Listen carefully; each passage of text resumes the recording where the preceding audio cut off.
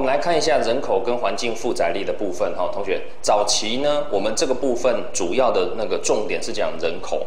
可是呢，现在因为我们是比较整合性的内容，所以我们把环境负载力也拿进来了。同学，人口相对于环境，其实哪里人多哪里人少啊？不就环境负载力吗？没错嘛。所以其实在这里等于是把人跟环境做一个结合，好让大家知道，其实我们是环境的一份子。所以我们人人口在呃膨胀的过程中，好人口在增加的过程中，也要去考虑环境负载力是否有超限利用，好这个很重要。那以前我们都只有讨论人口本身，哦比较没有把重点放在人口跟环境的互动的部分。那我们现在呢，课纲好改变成就是主要强调的是人地互动，好人地互动。好，我们来看一下。好，接着呢，人口成长的部分，我们一开始哦要注意一下什么东西呢？首先呢，自然增加率。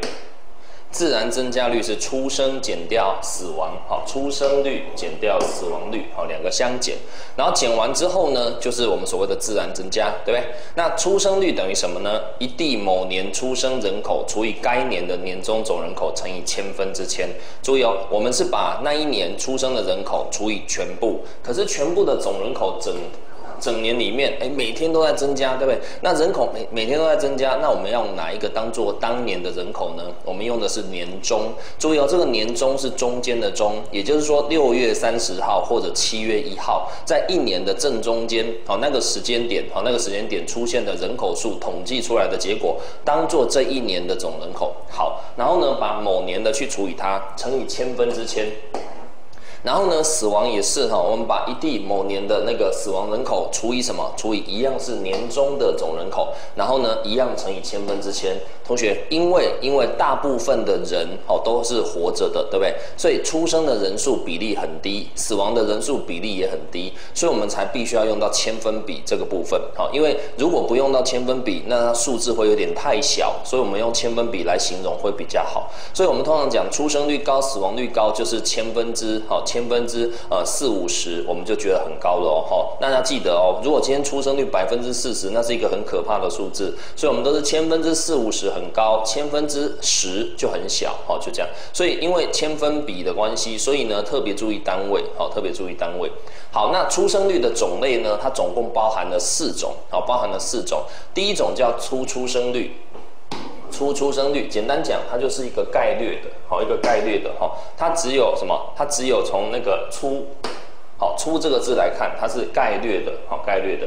那出出生率的话呢，简单讲就是，因为我们统计的数据呢，呃，其实没有办法就是很明确的，呃，明确的就是呃有一个数字说哦多少，那就不动了。好，所以我们只能一个大概。还有就是出生的人口真的每个都会有记录吗？每个都会报户口吗？不一定，对不对？所以我们的出生率只能抓一个大概。不过呢，也是可以当做一个参考，因为如果你出生率变多或变少，那还是有差嘛，对不对？好，那它的。定义是什么呢？每年每一千人当中的新生人口数，新生人口数，好，那这叫初出生率。好，那总和生育率的部分是指什么呢？在育龄期间，育龄期间每个妇女呢平均的生育子女数，好，每个妇女平均生育子女数。育龄的话，同学每个人的育龄一样吗？不一样，对不对？有人比较早青春期，有人比较晚更年期，对不对？所以你的育龄时间不应该是一样的嘛，对不对？那有人可能到后来他有点状况，他没有办法再生，他的育龄可能提前结束，对吧？所以呃，总和生育率，他在算的就是一辈子。每个妇女一辈子里面，不管时间，哈，一辈子里面所能够生育的子女数是多少？好，那可是如果今天假设你要比一个固定的区间的话，那就要用下一个叫总体了，哈。总体的生育率呢，它是一千名十五到四十五岁。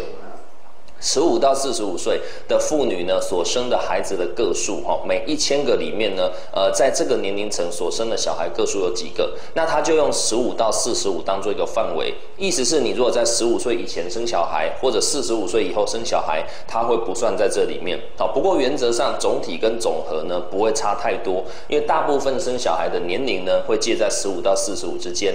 OK，哦，只是因为刚刚有讲哈，每个人的育龄长短不一样，对不对？所以如果今天用一个固定的，好固定的来讨论，也许会比较有意义。哦，因为并并不是每个国家的人都会都会呃活到很老。好，那有些国家的人会早婚，有些会晚婚。那如果你只有比什么，只有比总和的话，那就变成说，呃，比出来的子女个数呢，不见得会有讨论的价值，因为毕竟每个人的那个年龄区间不太一样。那如果用总体来讨论的话，就可以研究，好，可以研究什么呢？可以研究不同的哦发展的程度的国家，他的十五到四十五岁生的小孩个数大概落在哪里？好。先进的比较多还是比较少？落后的比较多还是比较少？就可以做比较。好，那还有一个是标准的出生率。同学，标准出生率就是他要做一个比对。哦，在年龄、性别组成。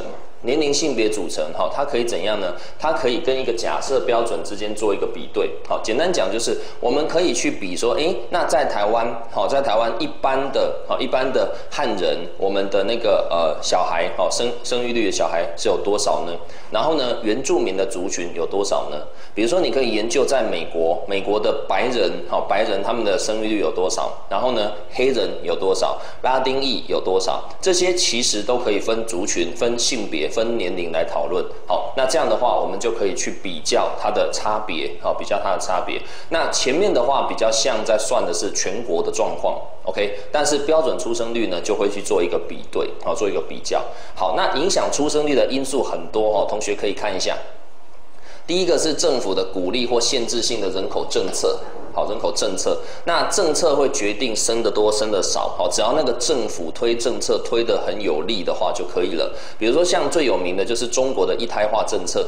对吧？一胎化政策它强制要求只能生一个，哦，虽然说还是有一些没有报户口的人数，可是因为它的执行力还算可以，所以呢，它确实让中国的人口总数就没有办法那么暴涨了，对不对？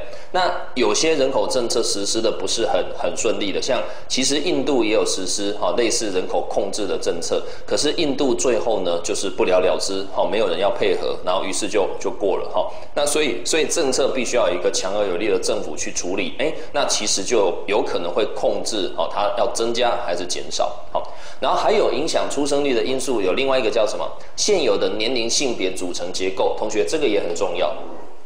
如果这个国家都是男生，或者都是女生，只有单一性别，那它的出生率应该会比较没有办法那么多，对不对？好，那还有就是，如果这个国家它几乎都是老人。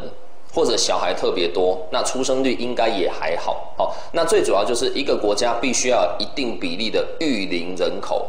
而且要尽可能的男女不要失衡，好，男女尽量差不多，哦，那这样的话呢，它的出生率呢可能就会高一点，好，好，再来还有社会文化跟宗教信仰，好，特别是对避孕的看法，因为有些宗教是不能杀生的，好，所以所以他们就就会直接影响到对避孕的看法，于是呢，这个就会影响到出生率，OK，所以有些必须要在婚后，哦，婚后才可以受孕，那这样的情况下，就每个国家就会出现出生率的差别了，好，然后另外。妇女的文化水平越低的话呢，就会很早结婚，很早生小孩，生很多小孩，好，所以出生率也会是比较高的。那经济发展水平越好的话，通常小孩个数会变少，会变少。可是呢，我们后来有研究发现呢，等到经济发展水平到更高的时候呢，小孩又会再增加。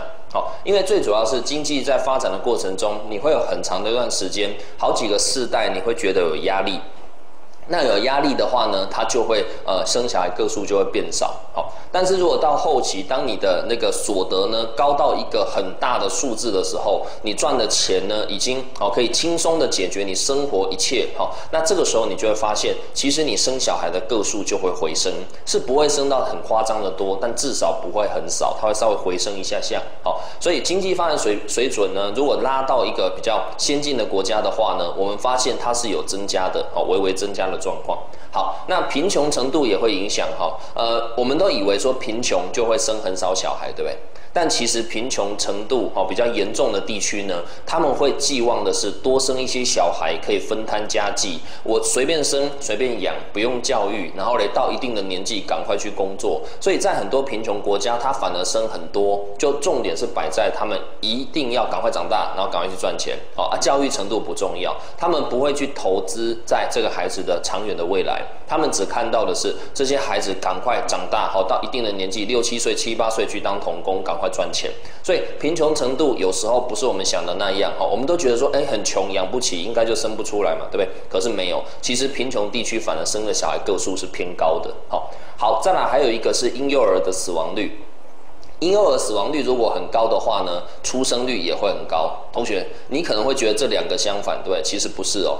出生率是指说小朋友哈，婴儿离开妈妈的肚子是活产婴儿，出生之后是活的婴儿，那就算出生率了。那婴幼儿死亡率是指这个婴儿呢，在一岁之前，一岁之前夭折的比例。夭折的比例，如果一岁之前就夭折的话，那它就算在婴幼儿的死亡率里面。所以其实出生率跟婴幼儿死亡率两个没有矛盾。通常婴幼儿死亡率高的地方，因为小孩生出来不一定活得久，那所以呢都会生多一点，生多一点，然后呢预留一些比例让它死掉，然后剩下的呢就可以健健康康的长大。所以一般婴幼儿死亡率偏高的地区呢，出生率也是大的，好也是大的。OK。好，那再来这张图，我们来看一下哈，这个是这个是呃中国的状况，好，中国的状况。那同学可以看一下中国的出生率偏高的地方，一般都落在哪里？你看一下比较黑的，比较黑的就是什么？像新疆，像西藏。像青海有没有这些地方都很黑，好，它就是出生率偏高的地方。然后再来呢，稍微比较没有那么黑的，像宁夏，对不对？像云南、像贵州，有没有？云贵地区它也是什么？它也是呃出生率偏高的状况。然后呢，其呃其他地区呢就比较浅了，对不对？同学有没有发现，其实出生率的高低跟什么？跟经济发展程度一定有关联。经济发展程度一般来讲呢，跟出生率是成反比的，所以相对比较落后、后比较偏僻的地方，他们会生比较多小孩。哦，那还有相对比较先进的地区会生比较少的小孩。OK，当然，当然还有一个原因是因为中国有实施人口控制政策，然后呢，它的汉人居住区跟少数民族居住区其实它的限制不太一样，这个多少也会影响到出生率的高低。好，不过一般来讲呢，它这样的空间分布是合理的，就是相对先进的地区其实出生率是偏低的。同学可以看一下几个直辖市有没有？北京跟天津，还有上海。对不对？还有重庆有没有？它四个主直辖市其实它的什么出生率都偏低哦，哦都偏低，所以我们可以合理的知道说，哎，那出生率跟经济发展程度呢，一般来讲就是成反比，好，一般来讲就是成反比。好，再来我们来看一下死亡率的种类，哈，死亡率它有啊跟刚刚类似的部分。第一个叫粗死亡率，好，粗死亡率就是一个粗略估计的每一千人的死亡总数是多少。还有新生儿的死亡率，好，新生儿的死亡率是什么？每一千个出生未满一个月、未满一个月的婴儿或者胎死，好，就是一出生就死掉，或者在妈妈的肚子里面就死掉的，这一些全部都算在新生儿的死亡率里面。好，那新生儿的死亡率越高，就代表这个地方的医疗水准比较低，就代表这个地方应该是相对落后的。好，同样的孕产妇的死亡率也是。好，孕产妇的死亡率呢？每十万个死于生产过程中的死亡数，那这个一样是先进跟落后的差别，对不对？先进地区的孕产妇死亡率不高，除非啦，好，除非有一些先天的疾病或者有一些意外，不然正常来讲呢都 OK。但是落后地区的孕产妇呢，她可能怀孕没有问题。他可能哦，慢慢的肚子变大没有问题，可是呢，可是在接生的过程中，在生产的过程中可能会死掉。那这个部分呢，就会算在孕产妇的死亡率里面。好，好，那幼儿死亡率呢？这稍微大一点哦，同学。刚刚楼上是新生儿，幼儿是一岁，每一千个小于一岁的死亡数叫做幼儿。OK，好，所以我们会去统计的是，呃，未满一个月死亡的比例，还有小于一岁死亡的比例，这些这些都算在出生率里面哦。好。好，那标准死亡率或者特定年龄死亡率就是要去比较，对不对？我们可以在一个特定的区间去比较不同族群，好，不同的年龄层，好，不同的呃属性的，好，各方面的人口来来做一个比较，那就可以知道标准死亡率的部分。好，OK，好，那影响死亡率的因素很多，同学可以看一下。第一个是人口年龄，对不对？如果一个国家老人比例偏高，那死亡率应该蛮高的，因为其实到一定的年纪就准备哈，就是逐渐要凋零了，对不对？那如果一个地方都年轻人，哎，那死亡率应该还好。好，应该还好。那还有营养水准，如果这个地方都是营养 OK 的话，那其实就是健健康康长大，可以活到一个预期的寿命，对不对？如果营养水准太好，或者影响营养水准太差的话，当一个国家充满着胖子，哦，当一个国家充满着很饥饿的人口的时候，哎，那死亡率就会开始出现。所以营养水准要记得哦，如果你今天吃太胖的哦，那种肥胖的病哈，那种富贵的病，其实它也会让死亡率增加。好，好，那饮食跟居住所也是，对不对？如果你有一个呃稳定的饮食，好安全的居住所，那死亡率应该会下降。还有干净的饮用水也是，如果你每天都喝到不干净的水，像非洲，非洲常常有那种喝水喝到严重的腹泻而死的状况。好，那因为因为干净的饮用水可以确保可以确保你可以啊减少得到一些传染病的机机会。好，所以这个部分呢也会影响。同学，其实第三个饮食跟第四个饮用水，它造成人口的死亡其实蛮蛮多的，数字蛮大的。可是我们平常呢比较会忽略的就这个部分，我们总是不在乎说饮食会影响或者水会影响，其实这两个影响的最多。好，好，那医疗水准也是一样。医疗水准如果比较差的国家，你可能随便一个病就可能会死掉，或者医疗疏失就死掉，对不对？那如果医疗水准好的话呢，它有可能即便传染病大流行，它都有可能会守得住。那这样的话呢，死亡率就会在一个控制的范围内。传染病的程度也是哈，如果今天传染病一发不可收拾的话，糟的，那死亡率一定是节节上升的。那如果说今天传染病的程度呢，它被控制在一个区域，哦，它被隔离了，然后呢滴水不漏，哦，那基本上防疫如果做得好，基本上它的死亡率应该是有办法压回去的。好，暴力犯罪程度也是一样，如果一个地方常常出现暴力犯罪，哈，那你可能莫名其妙走在路上就被打死了，对不对？那这种的话，死亡率就会偏高。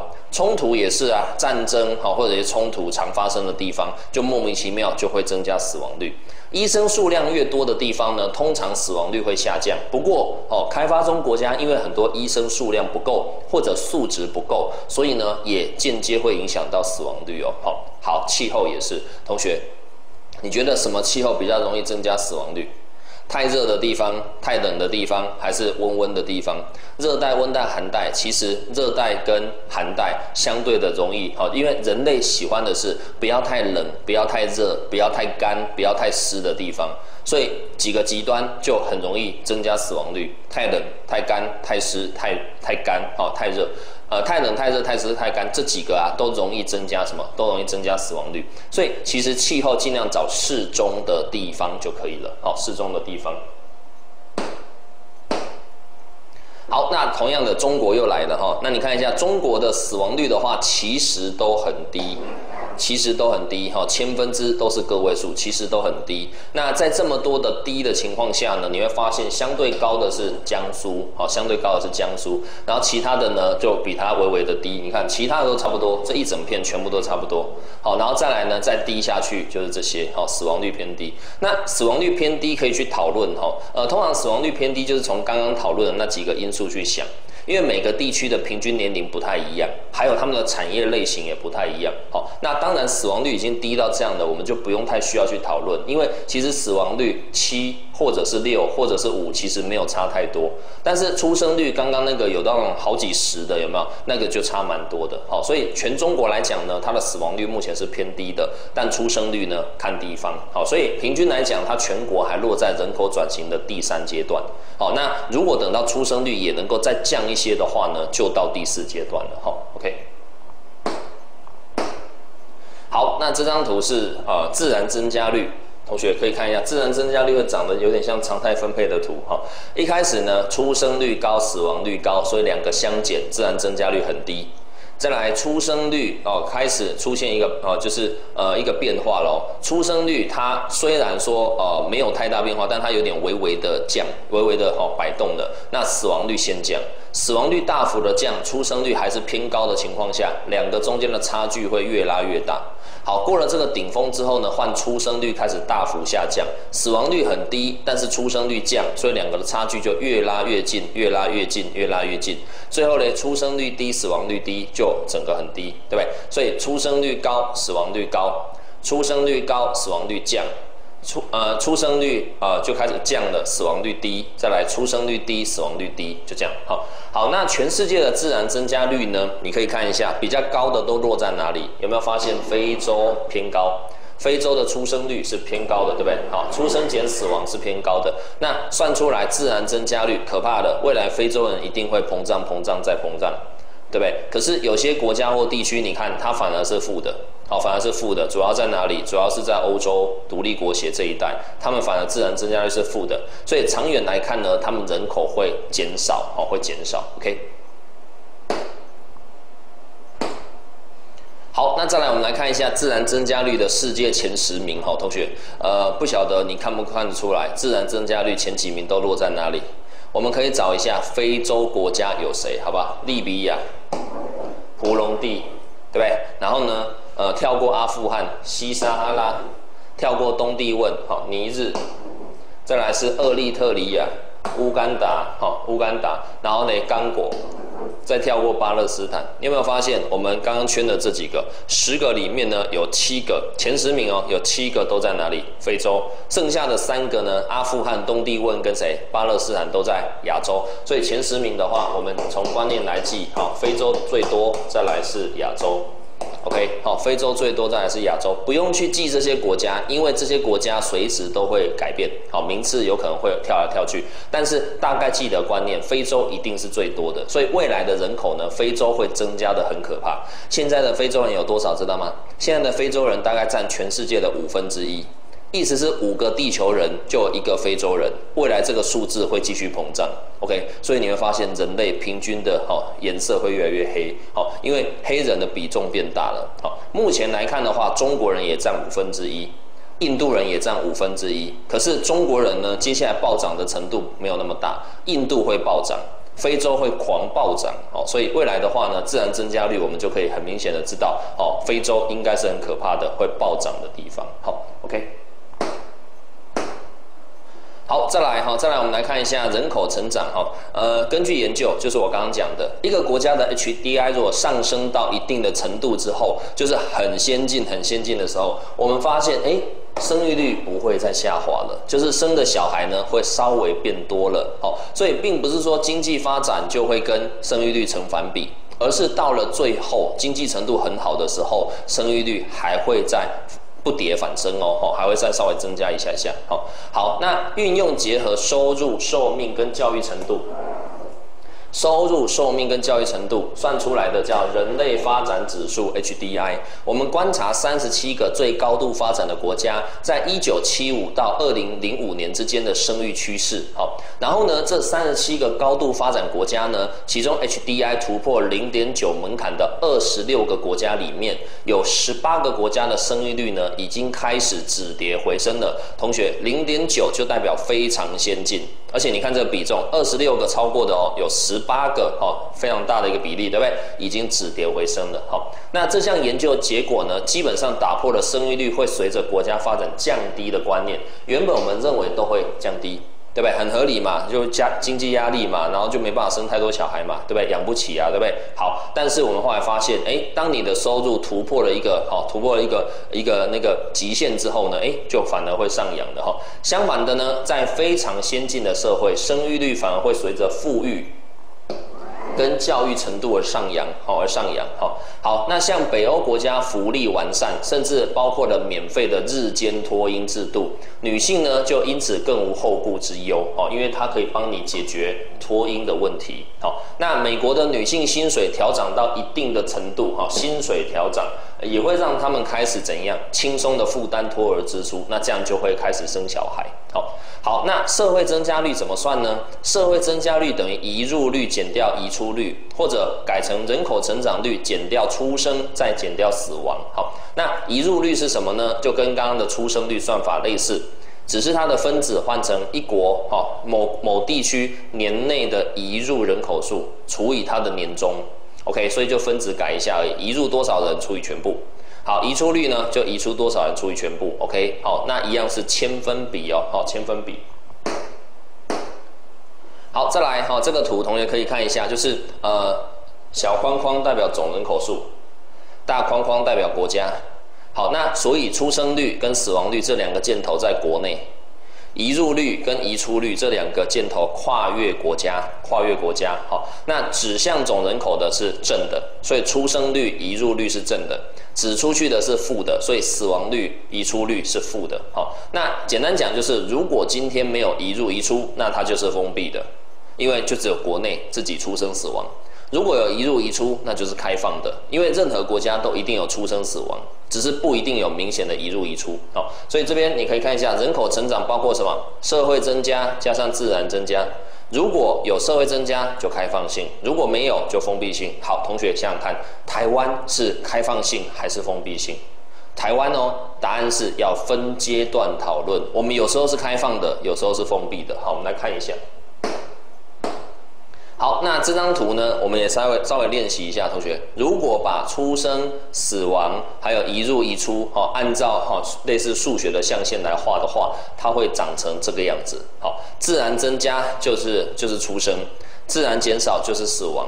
社会增加就是移入，社会减少就是移出。好，那我们可以画成这八个区块，因为一个国家，哦，一个国家它都一定是自然的增加减少会会有一个比较多，还有社会的增加减少也会有一个比较多。于是呢，它就可以弄出来这八个区块。假设你落在这个区块的话，哦，那就代表什么？自然增加大于社会增加，但两个都增加，所以正正，哦，这里人口一定会暴增。这边也是，只是这里的自然增加比较少，社会。增加比较多，所以我们可以去分析每个国家它到底是哪个多哪个少哈。那最后是负负的，还是最后是正正的，还是最后一正一负可以抵消的哦？不一定，对不对？那我们就可以啊用这样的象限图来表示哈这各种状况，好各种状况。好，那再来哈，开放性的成长系统跟封闭性的差在哪里呢？我们来看一下，开放性的话是人口成长受到自然增加率。跟社会增加率的影响，好，那必要的条件呢，就是充分的迁徙自由。简单讲，就是呃，要能够搬来搬去的，要能够进进出出的，好，这样才能够才能够有移入移出的可能性，对不对？好，那呃，楼下呢，封闭性的话是人口成长受到自然增加率影响而已，没有社会增加。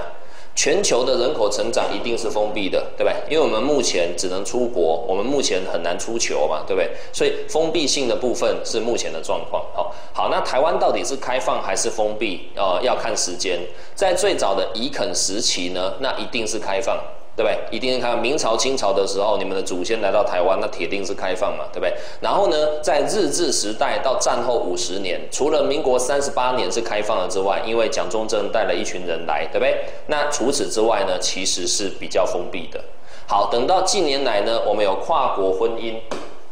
还有国际移工，哎，我们又变成开放的，因为跨国婚姻你就会娶外国新娘，不一定是哪个国家，但是会娶进来，对不对？那就会增加。好，那国际移工也会进来工作嘛，对不对？所以在台湾，在台湾，好，你近年来就要说是开放的。所以按照顺序，我们是怎样？先开放，再封闭，然后再开放。OK，那如果把民国三十八年加进来的话，就特别注意哦，三十八年是开放，好，是开放，好，OK。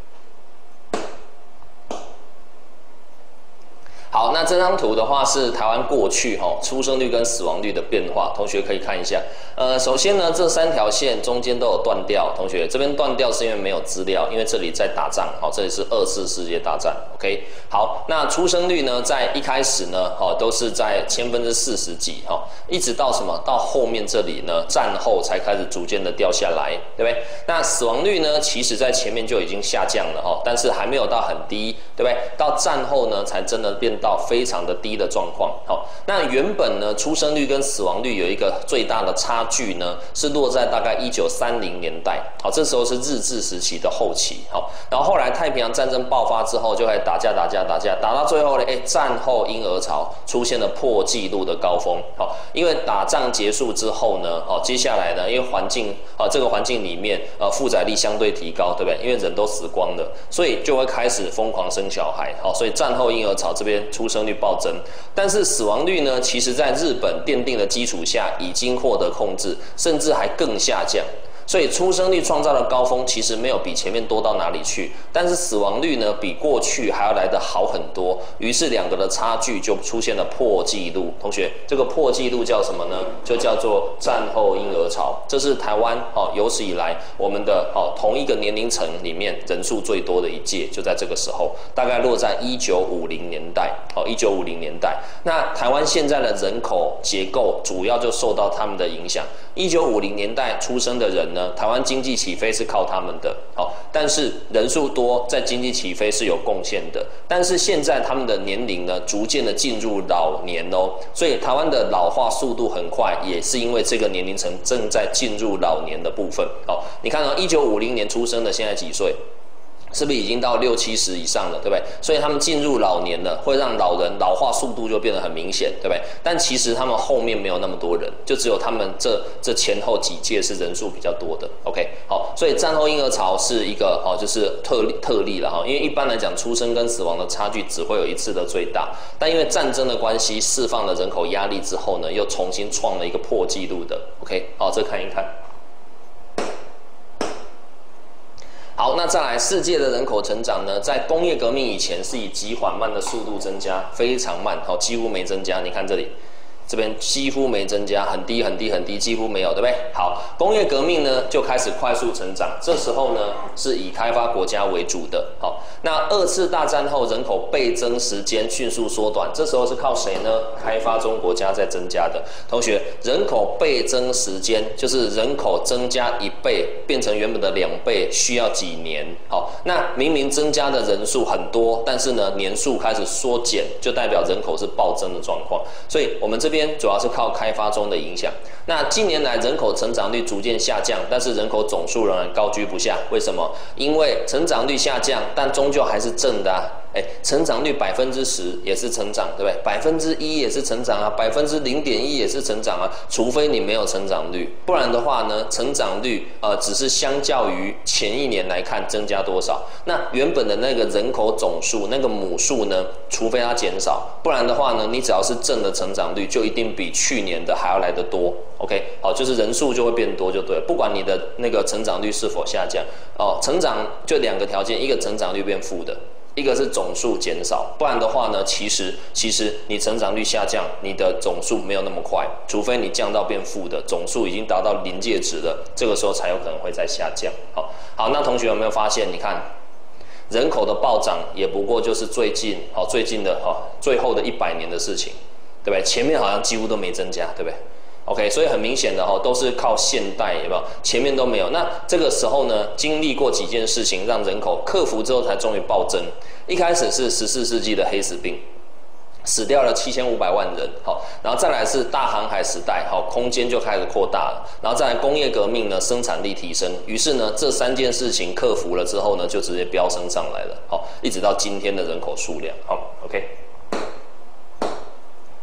好，那再来，同学这边我们可以看一下哈，人口的一些里程碑，好，一些里程碑。呃，全世界的人口在一八零四年的时候达到十亿，好，达到十亿。然后到了一九二七年的时候呢，达到二十亿。从十亿变二十亿，好，就是增加一倍，变成原本的两倍嘛，对不对？所以它的那个呃倍时呢，就是一百二十三年。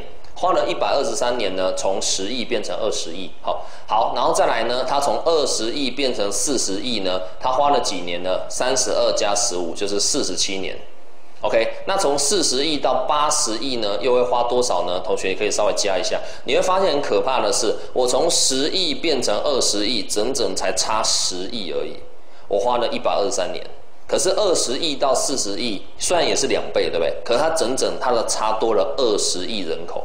它多了二十亿人口，它只花四十七年，前面只多十亿，却花了一二三年，有没有？所以代表人口增加速度是暴涨的。好，你看哦，你从四十到八十，虽然八十亿还没到，四十到八十，你看就是四个十几的数字嘛，这样加一加，大约四十几年嘛。哎，它用的年数跟前面的四十七好像差不多，对不对？可是前面的四十七年呢，它增加二十亿。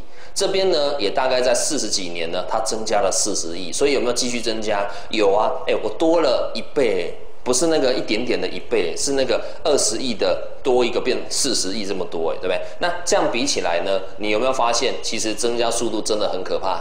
对吧？好，所以目前人口已经破七十亿了，没有错。但是呢，八十亿呢也不久了，对不对？你看，我们预估二零二五年是八十亿。现在现在距离二零二五是不是很快，对不对？再来，在后面二零四三年就会有九十亿。同学，二零四三年你也还在，对不对？你想一下，很可怕哦，那时候是九十亿喽，哦，所以地球到底能够装到多少人呢？哎，我们其实可以指日可待哦。目前很多专家预测的是，目前的地球状况呢，最终应该只能撑九十一亿。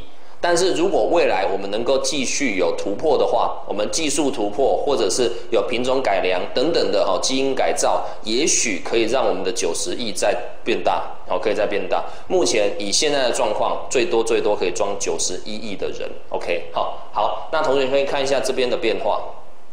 全球的人口，哦，从早期的不到一亿，好不到十亿，好不到十亿，就暴涨到今天的，哦，今天的未来可能会到一百亿，对不对？今天只有七十几亿。同学有没有发现，其实主要是谁贡献的？好，呃，在一九五零以前，其实是已开发贡献的，已开发这边增加的比较快。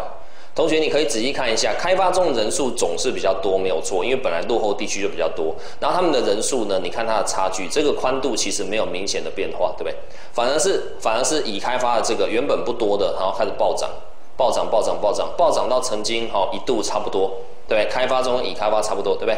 好，一九五零以后嘞，一九五零以后你会发现很明显的是什么？它这边开始，这边开始暴涨了。对，所以它这个增加的幅度呢，就整个就摆脱了哦，就没有没有让已开发追上来的可能性了，对不对？所以我们可以说，一九五零是一个重要的分界，在它之前呢，已开发的暴涨哦，就决定了人口总数的变化；在它之后呢，反而是开发中巨大的暴涨，好，这才是决定的关键哦。好，所以看清楚哦，一九五零绝对是考试的一个关键时间点，同学一定要记清楚，好。好，那再来，这个是一九五零以后又来了，你看，一九五零以后，所以这个图一定是表示什么？表示什么？表示开发中国家暴涨。